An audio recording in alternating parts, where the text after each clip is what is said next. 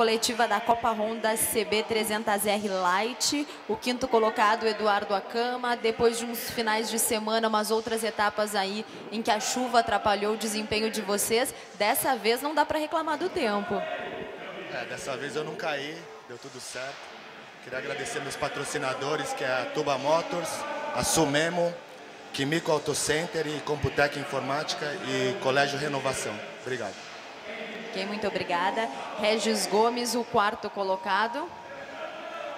Que avaliação faz da prova de hoje? Ah, é, antes de mais nada, eu queria agradecer meus novos patrocinadores, é, a New Sider, a Guarda Civil, a Guarda Ambiental e o pessoal das Rodas Mil.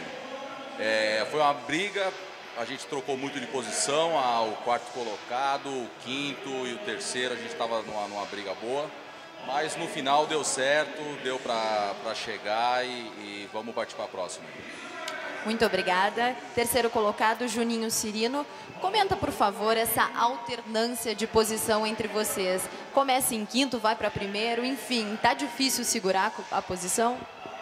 Bem, essa aqui é a minha segunda etapa na, na categoria 300. A última deu, deu sorte, choveu, eu consegui a vitória e estou entrando nos acertos ainda, nos, nos ajustes.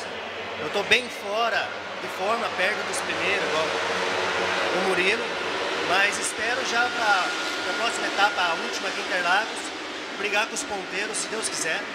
Eu quero agradecer primeiramente a Deus, aos meus pais e a Conte Auto Multimarcas que me dão uma força, um patrocínio. Obrigado. Muito obrigada. Segundo colocado, Alex Alvarenga. Foi quase, quase? É, fiquei com um gostinho na vitória mais uma vez, mas tá bom. É, competição é isso aí, vamos trabalhar, melhorar, procurar rever os erros aí que cometemos para ver aí se na próxima etapa a gente consegue chegar e manter vivo aí esse campeonato que ainda está em aberto. É, gostaria de agradecer meus patrocinadores, a Tomate Race, a Lubiflex, a LE Telas que ajuda a gente aí. E é isso aí, vamos, vamos brigar na próxima etapa. Obrigado.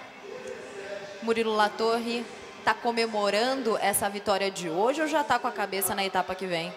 Não, é, passando a bandeirada eu já fiquei com a cabeça na, na próxima etapa. Então, eu vim de duas corridas de chuva, de um tombo, é, perdi alguns pontos importantes no campeonato é, que vão que estão me fazendo falta. Então agora eu estou correndo atrás. A corrida eu tentei acompanhar os líderes da Pro, ah, não consegui ah, acompanhar o ritmo deles. E daí depois eu vi que o Alex estava vindo junto e ficou para resolver tudo na última chegada, na última reta mesmo na chegada. E eu consegui essa vitória. Então agora o campeonato não está folgado, mas pelo menos eu estou de novo na frente. E eu queria agradecer ao Josemar e o Carlos Pezão, que são ah, os preparadores que deixam minha moto em ordem para essa vitória. Obrigado. Obrigada, parabéns a todos.